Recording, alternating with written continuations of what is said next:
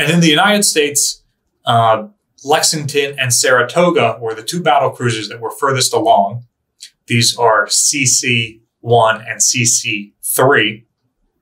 Uh, and the two battle cruisers whose shipyards, uh, Fore River Shipbuilding and uh, New York Ship in Camden, New Jersey, had the most political clout. So they were able to continue construction of their ships as aircraft carriers. These carriers were supposed to displace 33,000 tons uh, and could have up to 3,000 tons of additional uh, torpedo and bomb protection added. Uh, the American carriers were too far along, uh, about 35% complete at the time of their conversion, which uh, meant that they broke the treaty limits on displacement and they would end up being uh, about 35,000 tons standard and about 43,000 tons full load displacement as completed. Uh, overall, the carriers were going to have a length of 888 feet, still had a width of uh, 106 feet, like the battle cruisers. Use the same power plant as the battle cruisers. Uh, and really, these ships were a trade off. Because they were converted from battle cruisers, they had some shortcomings uh, and they had some really uh, interesting features. So, as battle cruisers, they had the super effective uh, five layer torpedo defense of the standard type battleships. On top of that, they used turboelectric drive instead of geared turbines. And the turboelectric drive was basically boilers provide steam to turbo generators. And then those turbo generators in, uh, provide electrical power to electric motors, which turn the propellers. Whereas on uh, steam turbine ships like Iowa class battleships, the boilers provide steam to both turbo generators that produce electrical power for lighting uh, and steam to turbines, which provide propulsive power. Uh, the turbo generators were heavier, but they allowed for greater compartmentalization. Uh, you didn't need to have the propeller shaft attached directly to the turbine attached via steam pipe to the uh, boilers. You could have uh, the boilers attached to the turbo generators and then just run electrical power via power cables from that to the motors. So the motors could be much further aft in the ship.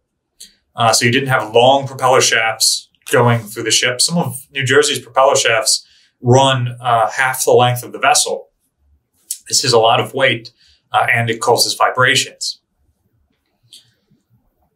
Uh, also, they were able to subdivide each boiler into its own separate armored box around the perimeter of a ship. So a torpedo hit not only has to break through the five layered uh, liquid and or void loaded uh, torpedo defense system, it then hits boiler rooms, which you might knock out a boiler or two, um, but would not have any force to get through that into the machinery spaces inboard of that where the actual propulsive equipment was. And because you're just using electrical power, uh, if boiler goes down, you can just send that electrical power elsewhere or take electrical power from elsewhere and keep all of your motors running. Uh, so despite their really poor armor, they had uh, pretty decent survivability uh, in terms of their capabilities. Let's see. Uh, so that was a positive side of the battle cruiser design. The negative side was, uh, unlike the Iowa class, which is built a lot more like an aircraft carrier in that they get wider as you go down the ship and they are pretty wide at the stern of the ship. Uh, the Lexington class looks more like a canoe, which is more of the uh, tradition for shipbuilding at that time, especially for capital ships and standard type ships. So they are narrowest at the ends and widest at the center, which means that uh, at the end of the ship, at the stern, where aircraft are landing, the hull gets really narrow. So there's not as much room for hangar space, and there's not as much room for a wide uh, flight deck at the stern of the ship.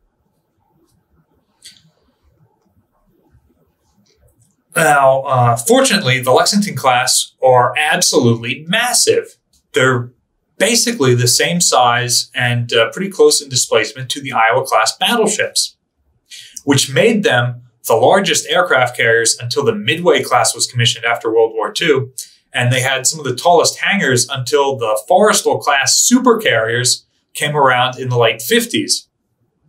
Um, so th- these ships were really large and much larger than prototype aircraft carriers of the time. Uh, the United States' is Langley, the Japanese Hosho, uh, British uh, carriers like Argus and Hermes.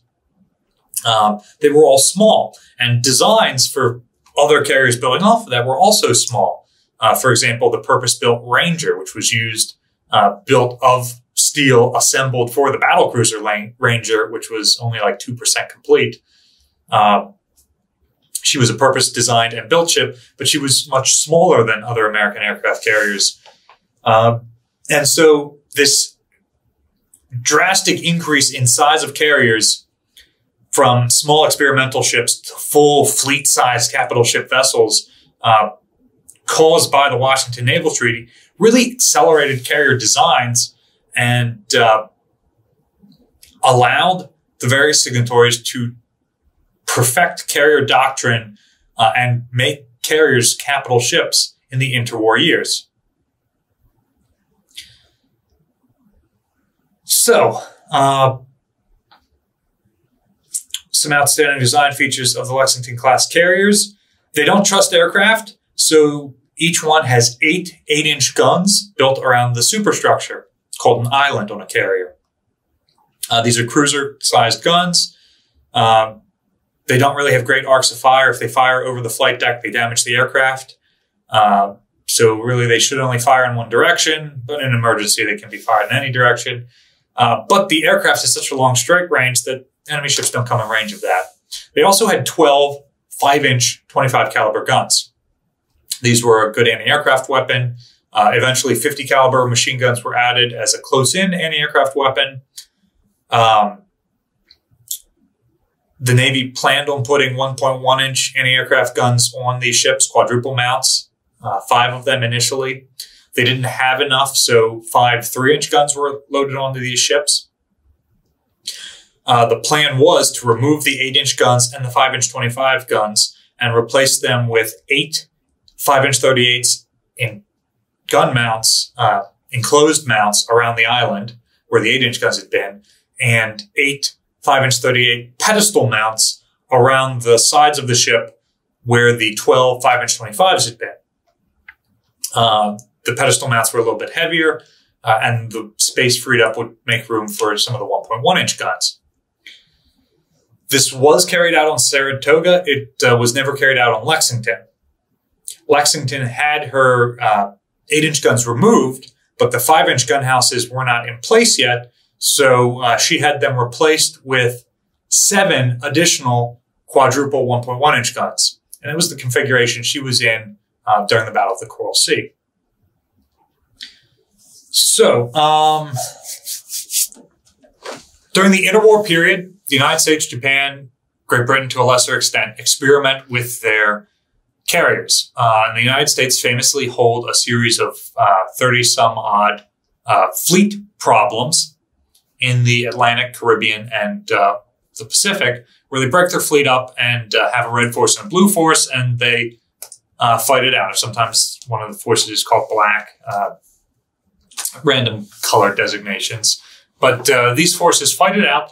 And when Lexington and Saratoga were finally completed, it took seven years to complete them on top of the uh, four years of development as a battle cruiser um, since authorization and the almost decade of development prior to that. Uh, but when these ships joined the fleet in 1927, they were uh, used extensively in tests. And these tests showed that the carriers were not effective operating with the battle fleet, much like battle ships. They would, or battle cruisers, excuse me, they would be shot to pieces. They did do a good job of replacing the battle cruisers, which they evolved out of. as the scouts for the fleet. Uh, and much like the battle cruisers, they were more effective operating in separate scouting groups than attached to the battle fleet. Uh, and as a part of this scouting group, they could effectively uh, launch first strikes on enemy fleets or shore installations, such as the Panama Canal or an anchorage containing the enemy fleet.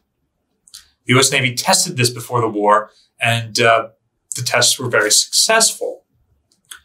The Japanese also tested this before the war uh, and would use it during the war with their attack on Pearl Harbor. Um, carrier aircraft evolve into three different distinct types the fighter plane, the dive bomber, which also was often used as a scouting plane, and the torpedo bomber, which could carry torpedoes if attacking ships or bombs if launching horizontal bombing raids on uh, shore targets. Uh, the Lexingtons were designed to carry about 70 aircraft, but uh, the United States became really good at one, storing additional aircraft on the flight deck in addition to the ones in the hangar, and two, uh, because they had such high hangars, they were able to tie aircraft to the overhead. So even though they could only operate about 70 at a time, uh, they had about 30 replacement aircraft they could carry. Um, so maybe they couldn't launch all 100 in an alpha strike, but as aircraft were damaged during a battle, they could be lowering and uh, activating additional aircraft.